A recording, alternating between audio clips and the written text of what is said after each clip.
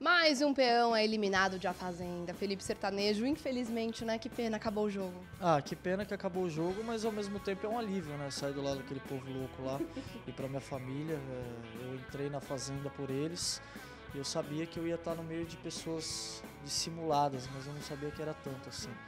Então, de verdade, foi um alívio. Eu fui para a roça com uma pessoa que, eu, que, que para mim foi uma final pessoal.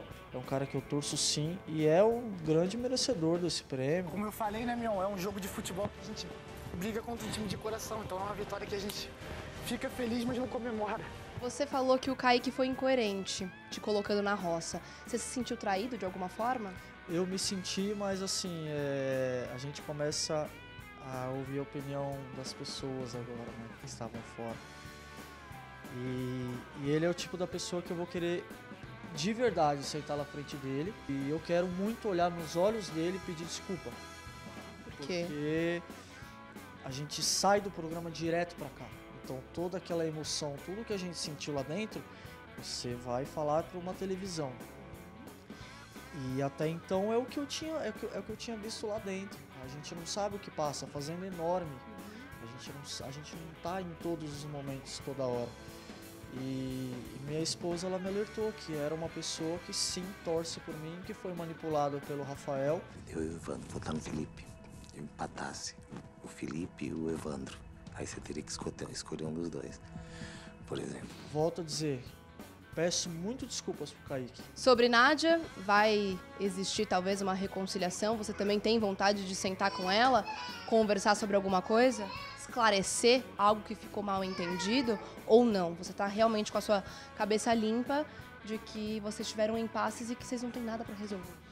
Não, acho que eu, eu, se eu fosse sentar com ela para dizer alguma coisa para ela, acho que eu sentaria e diria que ela é uma das pessoas uma das piores pessoas que eu já tive contato na minha vida. Deve bater na tua mulher, né? Você de novo falou da mulher.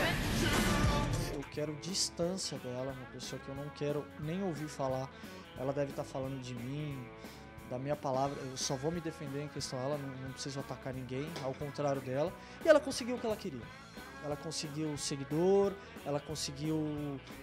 É, ela falava que a gente falava que ela não era, não era ninguém, nós nunca falamos que ela não era ninguém. Ela não era conhecida no, no público. Agora ela conseguiu. Parabéns para ela, parabéns para o maridão dela. Eu espero que as pessoas tenham visto a festa. Eu vou fazer só um questionamento para as pessoas. Se coloquem no meu lugar, sendo uma pessoa casada, e se coloquem, coloquem a tua esposa ou o teu marido naquela situação. As pessoas pensariam como eu pensei, de que ela deu em cima de mim, isso é fato. As câmeras não mentem. Eu não saio mordendo o rostinho de ninguém e fico falando que eu quero que eu quero me encontrar com as pessoas e as pessoas assim, elas não têm, elas não têm atitude de bater de frente comigo. Elas atacam família. Como ela começou a atacar minha família lá dentro. E o público dela tá fazendo o mesmo.